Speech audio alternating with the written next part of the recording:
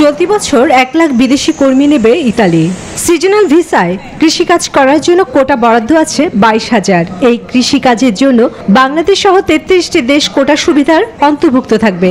অন্যদিকে non seasonal sponsor উদ্যোক্তা ভিসায় মালবাহী পরিবহনের জন্য চালক, নির্মাণ শিল্প, পর্যটন ও আবাসন ব্যবস্থাপনা কারিগরি, টেলিযোগাযোগ, জাহাজ নির্মাণ, খাদ্য সামগ্রী বিক্রয় ও ব্যবস্থাপনা সেক্টরগুলোতে কর্মী নিয়োগের ক্ষেত্রে বাংলাদেশ সহ তেত্রিশটি দেশ অন্তর্ভুক্ত আছে। ফ্লসি ডিগ্রি নামে পরিচিত ওই সরকারি ঘোষণায় বলা হয়েছে দু হাজার আওতায় ইতালির সিজনাল ভিসায় চুয়াল্লিশ হাজার কর্মী এবং নন সিজনাল ভিসায় আটত্রিশ হাজার সাতশো জন কর্মী নিয়োগের সুযোগ রয়েছে।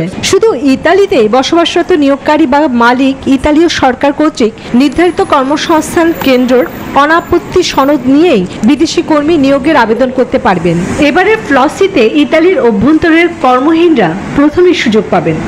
লোক আনার জন্য যে সিদ্ধান্ত নিয়েছি এই সিদ্ধান্তকে আমরা স্বাগত জানাই। রেমিটেন্স যোদ্ধারা যে টাকা পাঠাবে বাংলাদেশের স্বয়ং সম্পন্ন হবে। সরকারিভাবে যদি লোক আসতেছে সেটা অনেক ভালো অনেক সুবিধা। এখানে প্রবাসীদের জন্য যেমন ইনকামের একটি ব্যবস্থা হবে পরিবার সচ্ছল থাকবে পাশাপাশি বাংলাদেশের জন্য অর্থনৈতিক অবস্থা অনেক চাঙ্গা হবে।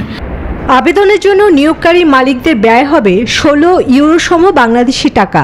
তবে আবেদন দাখিলের জন্য ইতালির কোনো হেল্প ডেস্কে সহায়তা নিলে তার জন্য সার্ভিস চার্জ বাবদ একটি ফি পরিশোধ করতে হতে পারে। ক্ষেত্র বিশেষে তিনশো ইউরো পর্যন্ত হতে পারে।